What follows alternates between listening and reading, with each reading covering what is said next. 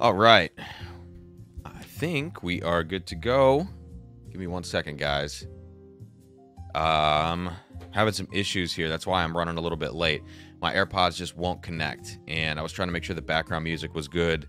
Um, sounds like sounds like it's all good, and I think uh, I think I'm just gonna do without these tonight. I, I don't know what's been going on. I've been having some Bluetooth issues with my computer recently, so I do apologize for that.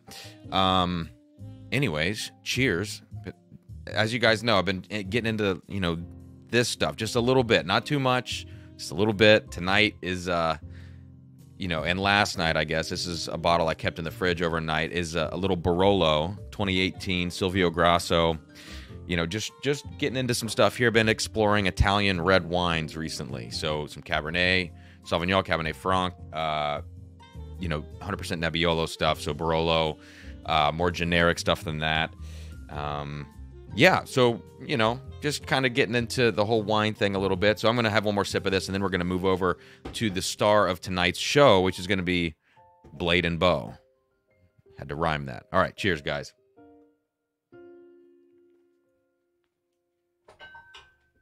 So let me know if you are going to be sipping along this evening, and uh, let me know if you're hanging out in chat tonight. Who who the uh, who we have in chat this evening? Say hello. Let me know that you're here. Uh, if you guys do have a bottle of Blade and Bow, go grab it. And I have a couple ideas for comparisons. Um, so in front of me here, I have a I have a bottle of Blanton's and a bottle of Larceny, just straight up Larceny. I was just thinking of things that I might be able to compare to Blade and Bow either at a similar price point, lower or higher, like just stuff that's in the same proof and possibly flavor profile range. Um, Jeb, yeah, man, I you know I'm gonna you know I'm gonna do that probably sooner than later, unfortunately, um, because yeah, putting it in the fridge, pulling it out, even after one day, I feel like it starts to de develop balsamic notes. I, I don't know, and maybe I'm just reading into it a little too much because I'm expecting it to get that way after too many days. Um, but anyways, guys, uh, I just picked up this Blade and Bow today. All right, so this is not a bottle I've ever owned. I think I've only tried Blade and Bow one time, and I have like a memory of what that tasted like in my brain, and I don't know if that's going to line up to, to this. And you can see that I've already opened the bottle, but I just opened it earlier and let it sit, get some air into it. I have not poured anything out of this. I haven't tasted it yet, so tonight's tasting is 100% new to me, except for the one time I tried this like over a year ago. Ooh, Dustin Pullman says special reserve might be comparable. Actually, I think I have one right here. Give me just a second, guys. Let me grab this Weller. Um, maybe, maybe there it is.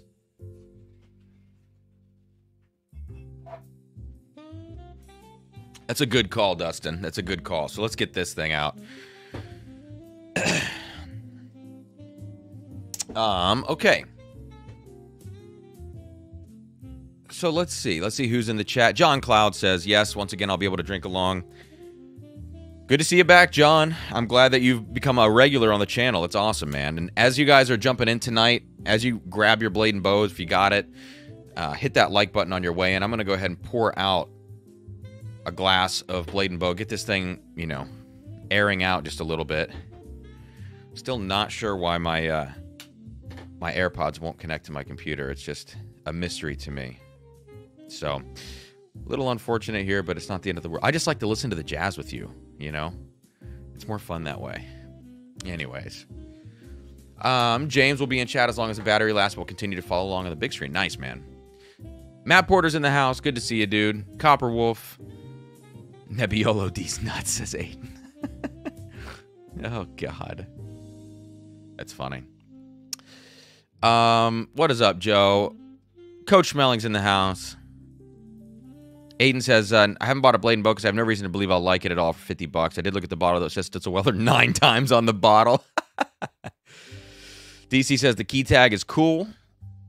And Paul, is Super Chat working tonight? Paul, I think Super Chat should be on no no need, Paul. I mean, I know, man, you're the most supportive person on the channel, but you know, no need to uh, to super chat, man. I mean, no, no giveaways tonight, but I do appreciate you, of course. Um, let me get this Weller out of here for now. Let's get into this Blade and Bow thing. So, in in you know talking about what Aiden is mentioning in the chat, Paul P. Man, don't spoil it for me. I have the best uh, the best hopes for tonight. Don't spoil it for me. So, in keeping with what Aiden was talking about, this thing is so it's a 91 proof for 45.5% ABV. It's got the Blanton's thing going on with the keys, five different numbered keys, and then you get into the, some club and they put your name up on a plaque, I believe, or you know something along those lines at the distillery. Um, this is a Diageo owned brand, pretty sure about that, and bottled by Stitzel Weller Distilling but it doesn't have it doesn't tell us where this was actually distilled at. And so i'm not entirely sure. And if you guys in the chat know feel free to drop it in here if you have any insider info. Um, now they claim that yeah there's the, the name stitzel Weller's all over this thing they claim that there is some old stitzel-weller bourbon in the blend here in this kind of solera um, way of doing things where they just keep pouring things into a solera vat essentially you know, at that point, it's just a. here, this is what's funny about it. Let me read this. I saw it on here earlier. Matured using the rigorous, rigorous Solera aging method, preserving our rarest whiskey stocks in the spirit of Stitzelweller. You're not preserving shit. You're just wasting it. if you're pouring it into a Solera vat with presumably young, inexpensive whiskey, don't waste Stitzelweller bourbon. So, anyways, it's all marketing. It's all that kind of shtick as you can tell by the key and all that. So that's my first impression going into this. I haven't smelled it, haven't tasted it. The color, wow, it's a big pour. We're not going to get through all that tonight. The color is just like a kind of a bright golden color, I guess.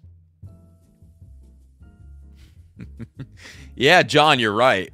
You're right. I actually, when I took that off earlier, I was like, this foil could cut you. I mean, it's it's dangerous stuff. So let's get into the nose here. Let me know as you guys sip along what you're getting as well. I would be curious to to kind of go back and forth with you on this. I have the best hopes for this one. And in Ohio, this thing is now $59.99. So state controlled pricing. All right, here we go. Let's check it out on the nose.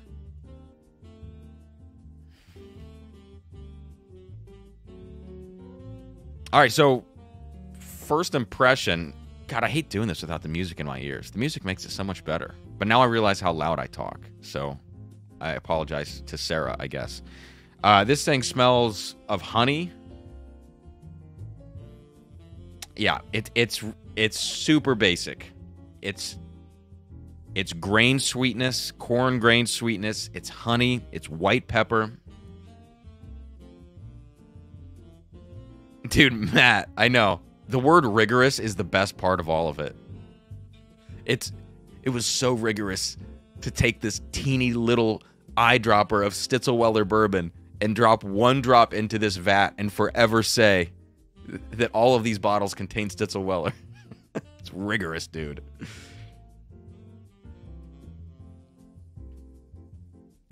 All right. Definitely uh, some some bright pear notes in here. It really kind of complements the honey profile of it, which is it's definitely bright. It's definitely sweet. It smells basic, one dimensional, but sweet uh, and, and bright. So it's going to be appealing to, I would imagine, newer whiskey drinkers. Um, you know, maybe a good introductory pour for that reason. And you're also not dealing with a ton of oak in this thing either. You know, if there's any oak showing, it's just enough to add a little bit of like white pepper spice to kind of round out some of the grain notes and make them a little more honeyed. But by and large, this thing is, you know, smelling like a four to six year old, very sweet whiskey. Uh, you know, with with a couple of brighter pear and like maybe like yellow apple, you know, fruit kind of notes.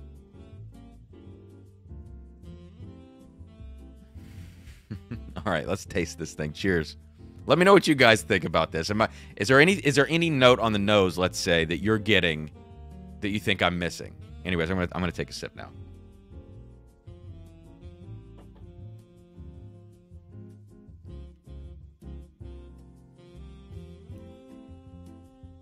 Well, I need to have a second sip of that. It's a little sour on the palate. Like it's got it's got some of those sweet honey grain notes. little kick of that white pepper spice. There's, is, this is not a cinnamon spice. This is not like a, any kind of spice that has a flavor or like an aromatic type profile to it. It's just straight up prickly white pepper.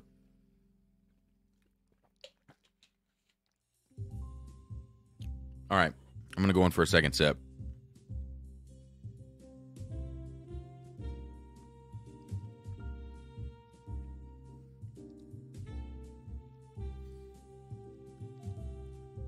All right. So yeah, it's super simple. That's not a fifty or sixty dollar bottle, unfortunately. I mean, it's such a simple bourbon. I don't know. There's something about it though that I like, and um, so I'm gonna look through the chat now. Paul says it gives me a funk smell. There is something in here I can't quite place that I actually like about it. And Paul, I think it might be what you're referring to as a funk on the nose. You know, I think it.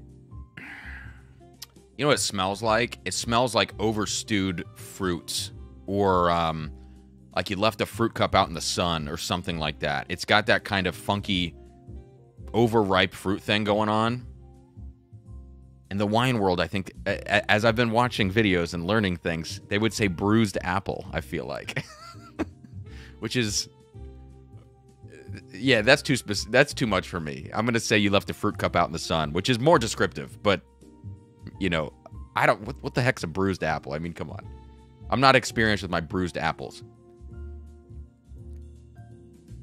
But I think I like the funky fruit component of this, uh, as DC is saying here. Mine is young, rough edges, simple, and funky fruit. I would agree with all of this, and I like the funky fruit because it adds just enough. And I think maybe that's what I was saying about it being sour. It adds just enough of something to the palate to make you want to come back to it. Like some people might just not like that, and that's cool. To me, it's it's like, what was that? You know, and you go back to it and it, it adds a little dimension, a little edge to, to the flavor profile. And because it's so simple, it's like, well, okay, this is like this is like a again, I, I refer to these as like the session IPAs of whiskey, but it's like a session IPA that has a little extra something, something, a little extra hoppiness to it, or a little extra something on the profile that's going to keep you coming back and, and have a little bit of a crispness. I think this whiskey has a little bit of that for me. John, uh, I missed this. So, red apple peel. Yeah, I could see that for sure. I said like a yellow apple or a pear. I could see it. I, I if this was a $25 bottle, I'd really like it. I, th- I think. Joe, I think Cam just called this a simple jack of bourbon. Um, all right, Paul says cheap whiskeys like this take me back to sneaking sips of black velvet from my dad's bar when I was 12 and being disgusted. That shit is gross, though. I mean, come on. Abused, bruised and abused, abused apples. That's funny, Matt. Matt called my blend an abused apple and blend again. Oh, okay, there we go. That's the reference. That's pretty funny.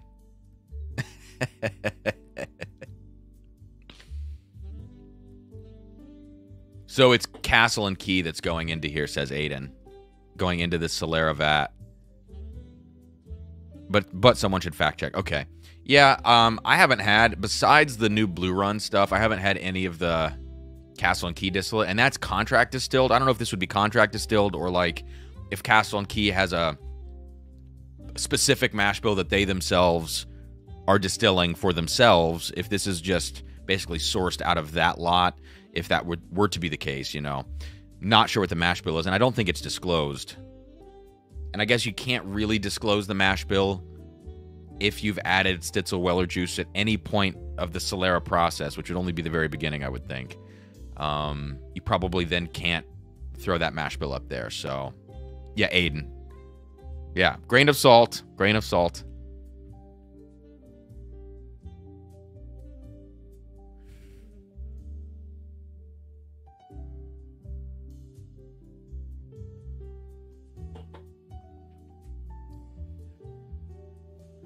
Okay. it's time to do a few comparisons because there's not much more to say about this thing. I don't hate it, but for 60 bucks that I, I actually paid 65 after tax today. Oh man, I wish I had that money back. um, okay. So let's let's think about some alternatives here at various price points and see what the deal is. Okay, so um I have a few bottles here and I need to grab one more glass.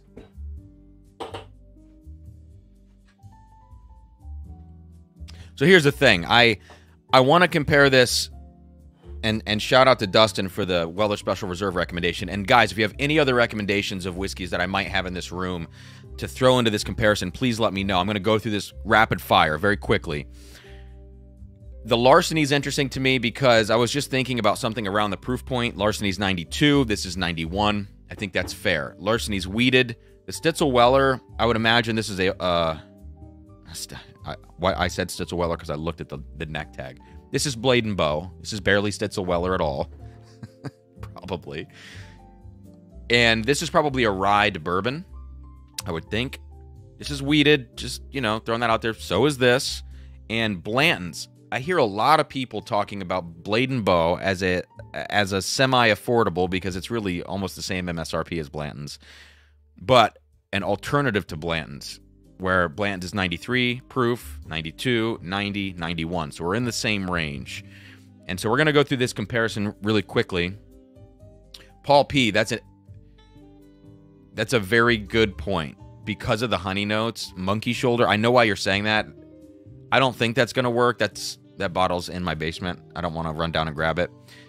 I know why you'd say that though, and that's that's funny and it makes sense. Dustin says OG Buffalo Trace. Honestly, my mine's in the basement. I have a store pick up here, but that's gonna blow all these away because I have a great Buffalo Trace store picked, uh, store pick.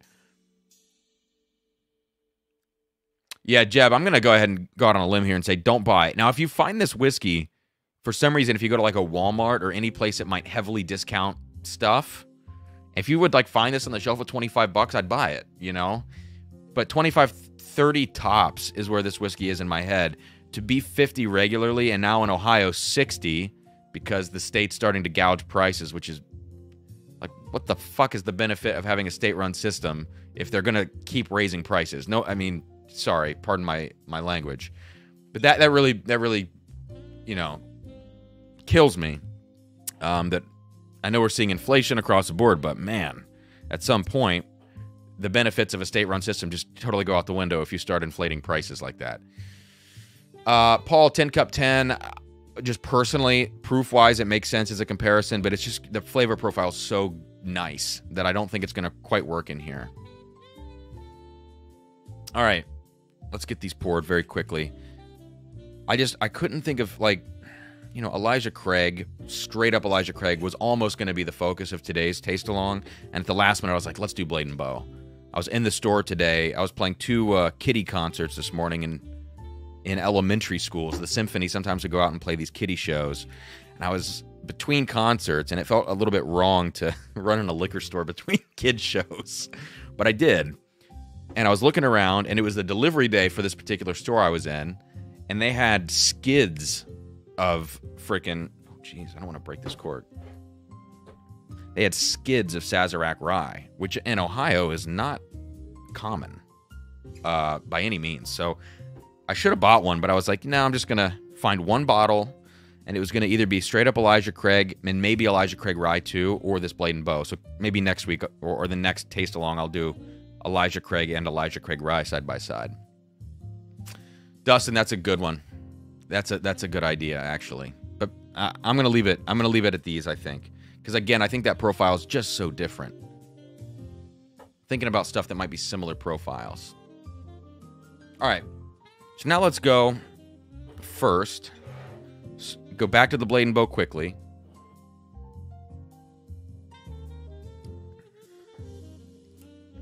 Man, those young corn notes on there. That's not what I remember, actually. The last blade and bow I tried would have been at least a year ago, maybe even two years ago.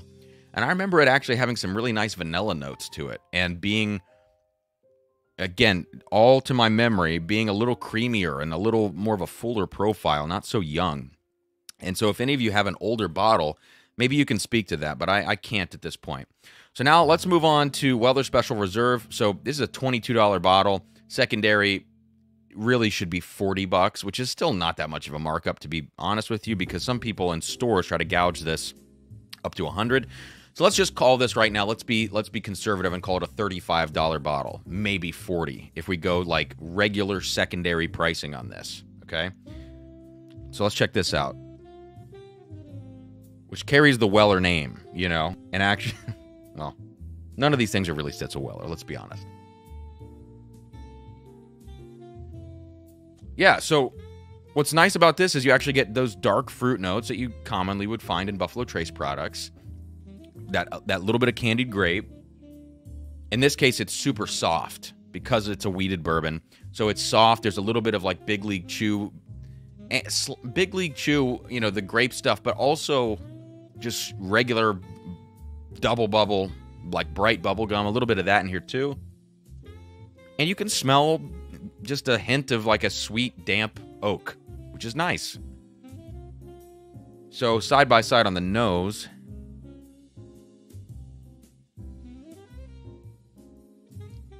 I could see people, I could see on the nose people actually preferring the Blade and Bow to the Weller Special Reserve because it has just a little more life to it. It jumps out of the glass. Probably if it's a ride bourbon, that would be the reason why. It's only one proof point difference, but I think the spice really makes it jump out of the glass. I'm going to taste the Weller now.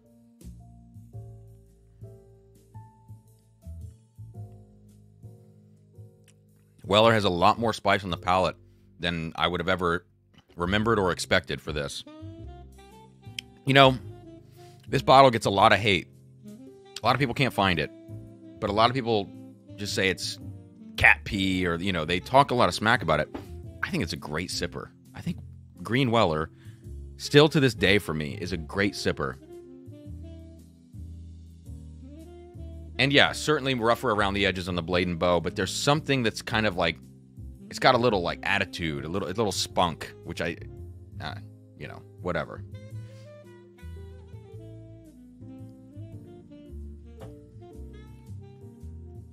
It's close.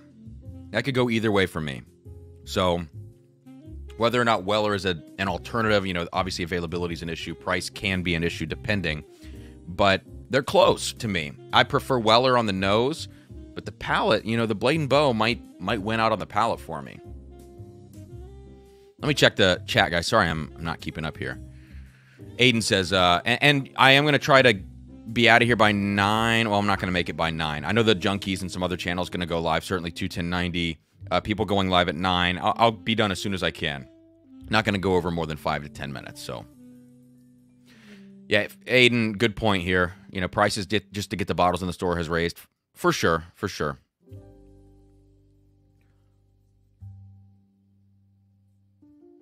Paul, so I pulled out the Wheaters um, because I was thinking about flavor profile from what I remembered from the last time I tried Blade and Bow, which I, again I said was one to two years ago.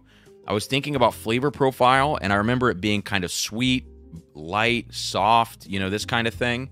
This one to me is a is younger and grainier and a little sharper than I remember. So I was going off of memory on that. So maybe not a good call, but I also wanted to think about proof and alternatives to price point because this is 50 to 60. Larceny is going to be 25. Weller's going to be anywhere from 25 to 40 all the way up to 80, but let's again, let's call this 40, and then Blanton's 70 up to 120, you know, depending on where you're at and what you see. So I, am trying to kind of get a cross section here. Yeah, P Peter, maybe Blanton's will finally win a, a flight, you know.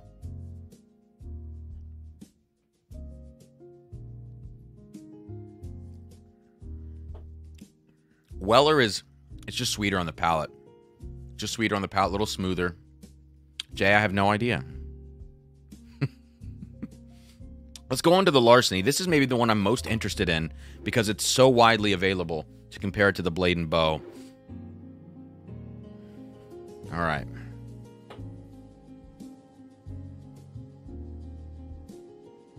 See, who was just saying that? I think it was Paul, right? Yeah, Paul P. Paul, I think there are actually some pretty remarkable similarities between the Blade and Bow and the Larceny. The Larceny has just a little more of that Heaven Hill nuttiness, that more caramel, like like honey peanut, you know, honey roasted peanut is what I want to say, edge to it. But they're actually really close in a lot of ways.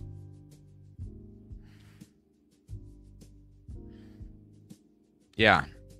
And I think that closeness is the honey note from both of them, just in different ways.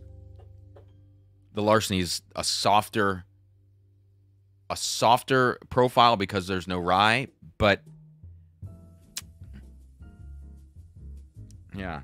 And if you guys have this, if you have larceny and blade and bow, it's a good comparison, I think.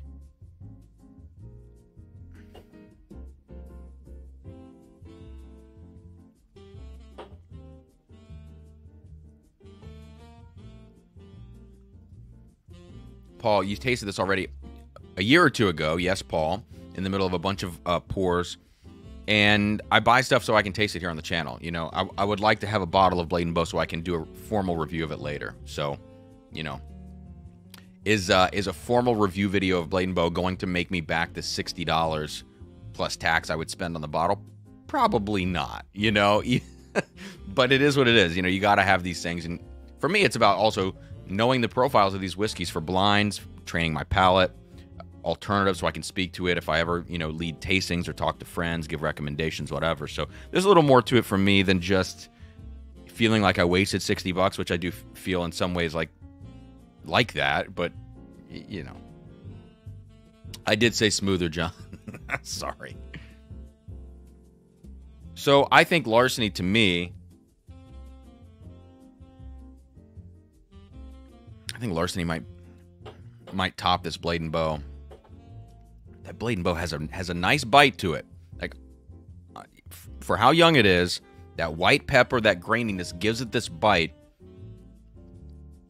that you know, it's it's it's nice in some ways. In other ways it's just you could just chalk it up to being young.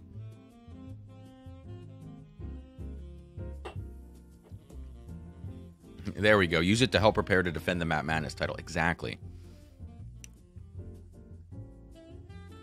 All right, and now on to the Blantons. Because people always cite Blade and Bow as being a Blanton's alternative, I thought this would be a nice comparison as well. This, is, this would be hard. If I had to rank these, it's really tough between the Stitzel. Sorry, I keep calling it Stitzel because it says it on the neck tag. The Blade and Bow, the Weller, the Larceny. It's, it's a hard ranking for me. They're all pretty darn close. Let me know what you guys think. If you have any of these, if you're just drinking the Blade and Bow or any of these, let me know what you're thinking. Blade and Bow, John likes it on the nose. Yeah, because when you're in a flight, for instance, up to this Blanton's, which I haven't smelled yet, it, it's like if you're blind, what might stand out more on the nose? What's going to jump out of the glass? To me, it's the Blade and Bow. What am I going to subjectively like better maybe the Weller, because there's a little bit of this dark fruit note that you don't get from the other two. And then you have to kind of ask yourself uh, if I were trying to remove myself and think objectively about this, what is actually the better whiskey? That's a tough call. And then I might go to the Larceny because it's more balanced just across the board. Whereas the Weller feels very, very simple. And the Blade and Bow feels very young, although it still might be the most brawny of the whiskeys that you're tasting. So this is what's hard about rating rating pours. You know, it's really hard to take objective uh, objectivity and subjectivity and try to figure out where where to go with these things, and to even know when you are being objective or subjective. I think it's hard for us in the whiskey world because we don't have a like a systematized thing that we base things on. Um, you know, maybe like the whiskey tribe guys, like the whiskey marketing thing, maybe they have some system, or you know, WSET might have with their spirits system, they might have some sort of tasting regimen or, or way of discussing these things. But because it's not really codified for us, it's hard to be objective about these things.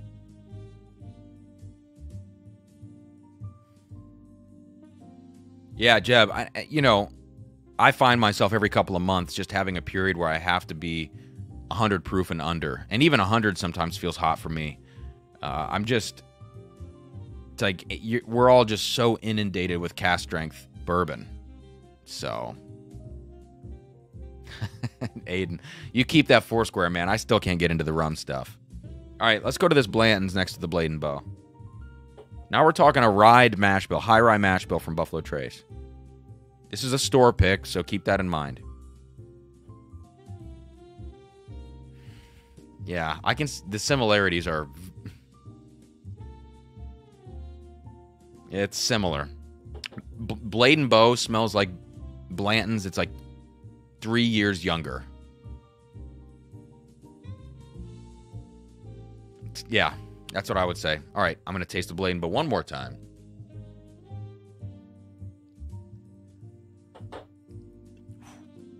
It's just the.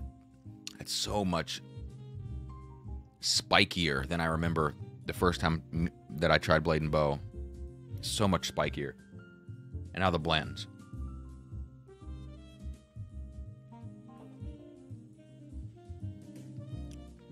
They're they're very similar. So here's the here's the test now for me. If I did half blade and bow and half weller Now we're just now we're just doing science. Now we're just doing a little science before we before we wrap it up. There we go. Half and half, Blade and Bow and Weller. Because I think the Weller might give the Blade and Bow a little bit of a like a more round profile and some of those darker notes that Blanton's has might add the impression of age to it and uh, and the blade and bow is going to give it that kick that the Blanton's has from the high rye mash bill. Let's see how close these are now. Let it sit for just a second. Yeah, Keith, I would put this in the class of benchmark for about 20 bucks.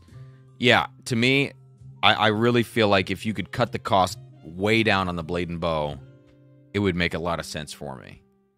And I wonder, like, we have the blade and bow 22, which I would imagine is all Stitzel Weller stuff, right? I mean, maybe not, but I haven't ever looked at the label or, or what's uh, assumed to be in that blend.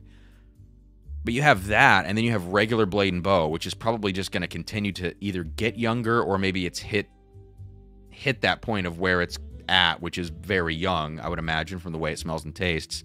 There's no middle ground. So, like, would Blade and Bow be able to put out at some point a 10 year that could warrant a 50 or 60 dollar price tag. Well, if they did and they age dated it, it would surely be over a 100 bucks, I would imagine, given the price tag of this, but it's an interesting question, I think. Cuz there's just it's such a weird like Blade and Bow, think about that. It's such a weird line. Uh, Elijah Craig has Elijah Craig, it has a rye, it has Elijah Craig barrel proof, and then you get Elijah Craig 18 and previously all the higher age stated releases. This is just Blade and Bow and a 22 year old Blade and Bow.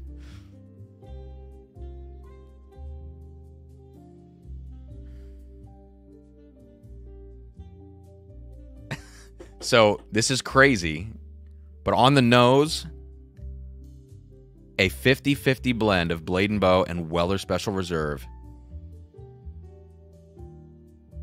is almost indiscernible from Blanton's. It is so so close. In a in a blind, I might mistake those for the same pour. Wow.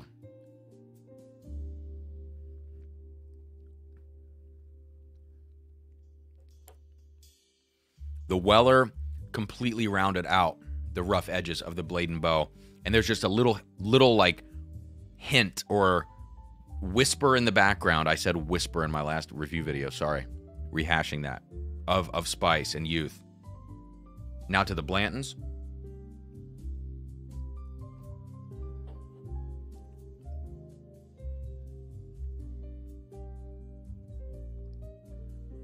Well, I don't know, man. I might like that bland, that Blade and Bow and Weller blend over the Blantons, honestly. So, interesting comparison. Um, so let's wrap this up give some final thoughts here. First and foremost, Blade and Bow heavily overpriced. I'm a little sad that I bought it.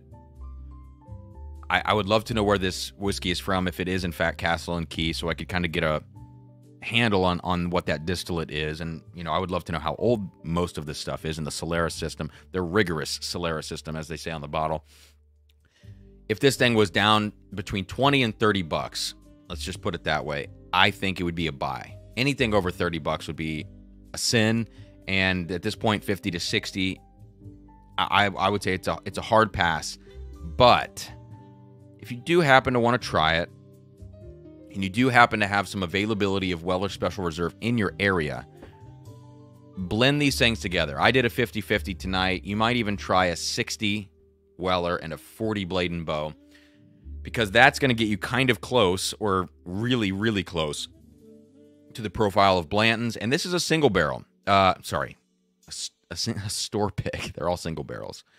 And this is a really, a pretty good store pick of all the ones that I've tried. So, the fact that that is 5%, 7% different from this after you blend them, it's really close.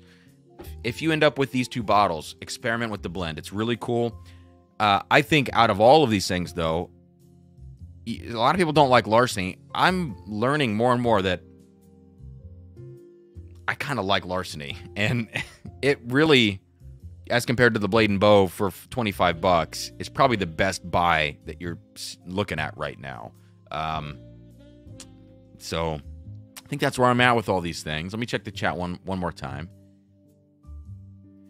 yeah aiden when special reserves doing heavy lifting for a bottle twice its price that's a little depressing well i i agree with you but i also think like as much as weller products are extremely overrated like to me Full Proof is not good Full Proof is just young, sharp, high proof whiskey. And thinking about thinking about paying anything over 50 bucks for it hurts my heart. Um, Antique 107, fine. I still think it's overhyped. This stuff, even though it's got the Weller name, I think is kind of underrated, you know? For what it's worth. So it is a shame that it's doing the heavy lifting for Blade and Bow, but I don't think that's a. I think the commentary here on that is that Blade and Bow is just overpriced and and it's all marketing bullshit, you know.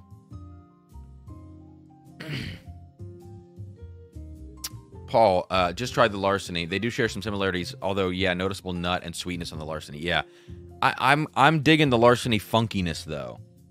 The wheat funk on the larceny.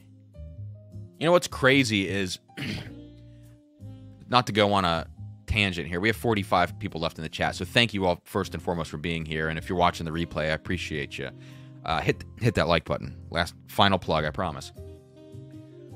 I have a sample of 1970s Stitzel Weller, and I keep referencing this in videos and in live streams and stuff. Toshi Bake, uh, who is in the chat quite often, sent me this sample of 1970s Stitzel Weller, and there there was just a note in that, and in some other Dusties too that I picked up on, and it's kind of hard to describe. Like most people would call it wheat funk because it's a Weller product.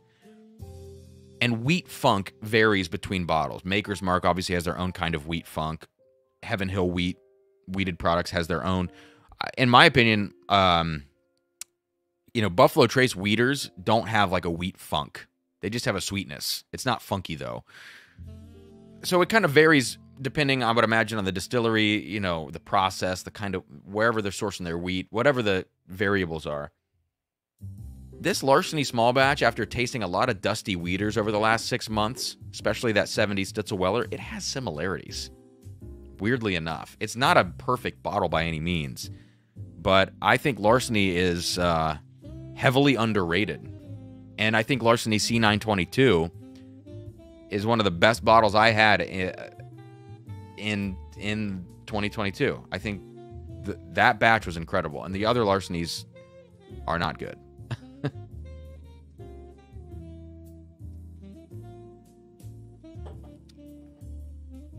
So Dustin, I've had a couple of these, and I don't like them. Uh, at six to seven years old, I don't like them for the Boone County. I know that their stuff just hit nine years old. Some of those barrels that they've got sitting of the MGP. I would love to try a nine year but I the six and sevens I've tried have just it's like Weller Full Proof. It's just really sharp. I think wheat wheated bourbons need more age than yeah, pretty much any other thing. Like rye whiskey needs the least age. Rye bourbon is next, and then like high rye bourbon. Uh, sorry, rye whiskey needs the least age, then high rye bourbon, and then just like straight up normal rye amounts bourbon, and then like wheat wheated bourbon needs the most age, uh, and then wheat whiskey needs even more age, or it needs a double barrel, which you know we saw the heavy char wheat whiskey at 11 years old come from Parker's Heritage. Makes sense. It's got a good age on there. It's got heavy char barrels. You know, it just depends on the the grain percentages you're using, but I think wheated stuff needs more age. Um, yeah.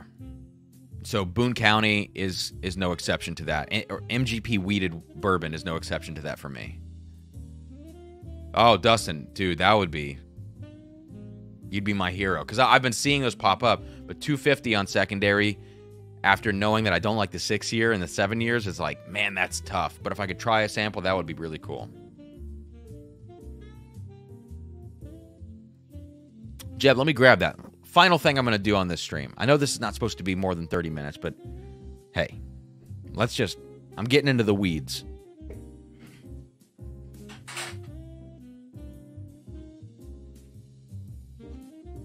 Any excuse to drink right now Larceny C922, I'm going to take it.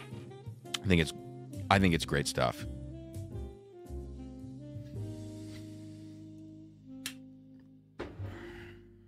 Honestly, I cannot believe that the Weller and Blade and Bow blend got so close to a Blanton store pick.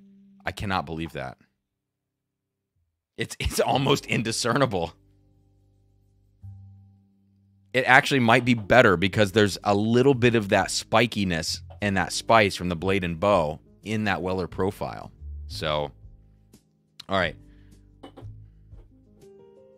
Last thing, let's water down some Larceny C922 and see how it compares to regular old Larceny. Oh, it smells so good when it's not watered down.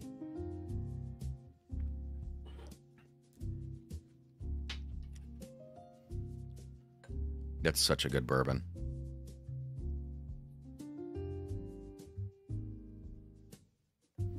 But just because it's so good at barrel strength, you know, a lot of barrel strength things after you water them down, even if you water them down slowly, a lot of them do not hold up. So the blend the the blend matters. And the proof point of that blend, the final proof point matters as well.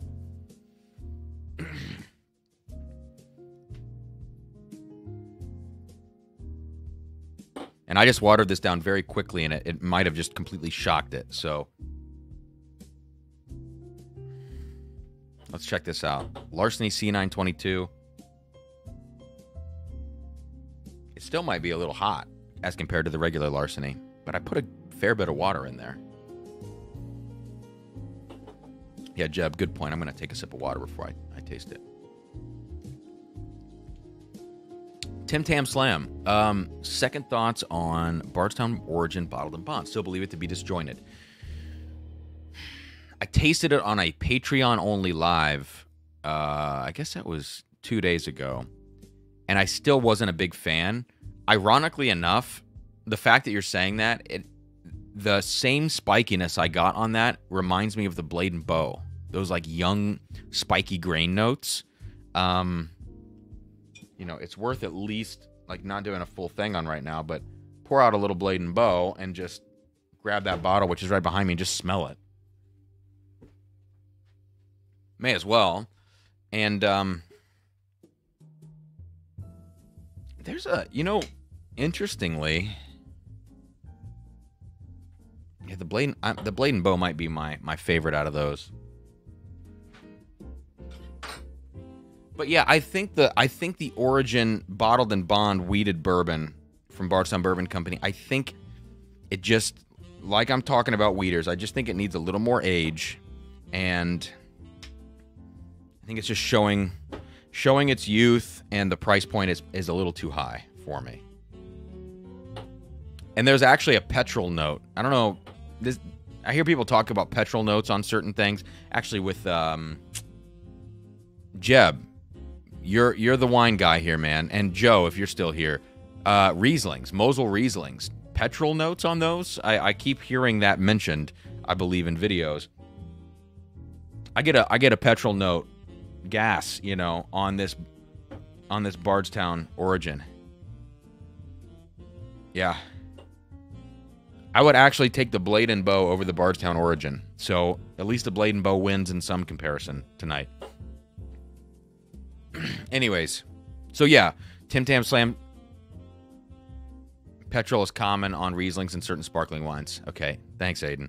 Yeah, uh, just I just don't like that Bardstown.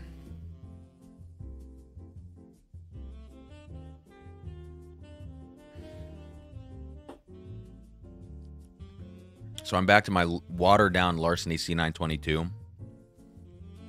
And I thought I put quite a bit of water in that. And I, I, I think I did. I'll put just a little bit more. But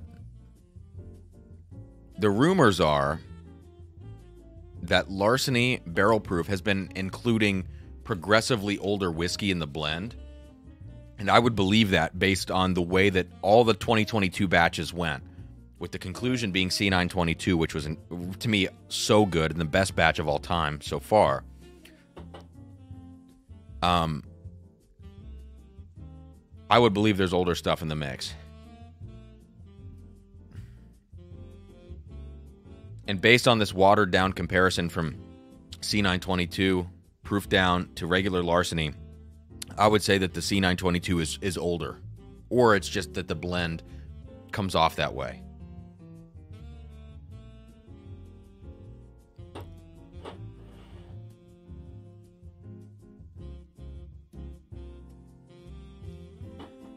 It's incredible.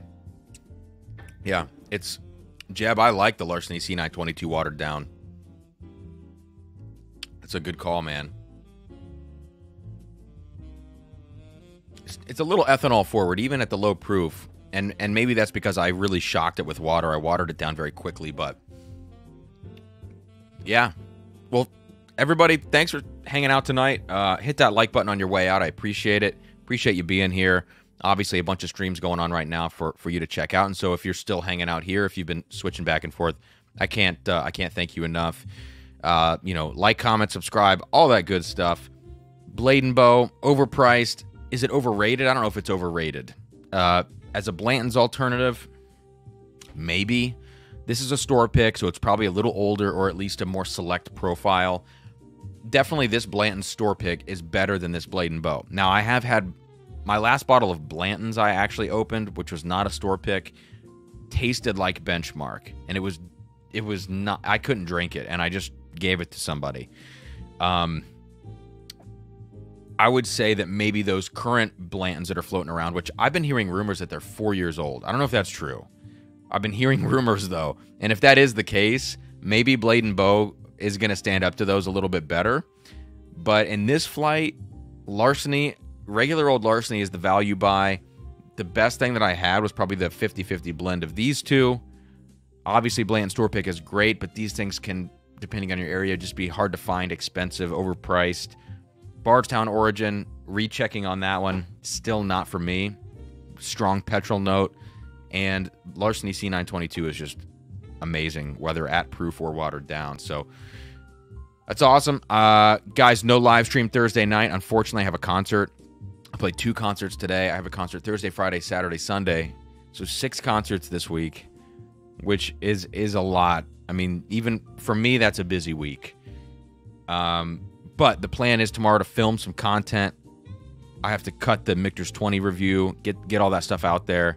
And so you'll be hearing from me this week for sure on some new videos. Patrons, we have a Patreon live stream 7 p.m. Eastern Time on January 27th. I know that's a ways off, but I'm just reminding you. I think that's it. So, yeah, Jeb, this week I actually am playing Triangle this week. I have three concerts where all I'm playing is Triangle, which is hilarious. Um, another concert I'm playing Bodhrán, which is an Irish sort of uh, frame drum. playing some Bodhrán, snare drum, bass drum, you know, different stuff like that. Like kind of a varied concert with Rhiannon Giddens. And then today I was playing like drum set and just a bunch of stuff for these kids' concerts. So, Danielle, what's up? Hey, thanks for saying hey. It's awesome. Danielle is a fellow percussionist and an incredible percussionist at that. So, um, awesome. It's good to see you in here, Danielle. Thanks for thanks for saying hey. All right, guys, I'm going to end with this watered down Larceny C922. And that's going to wrap it up. So cheers, and I'll I'll see y'all soon.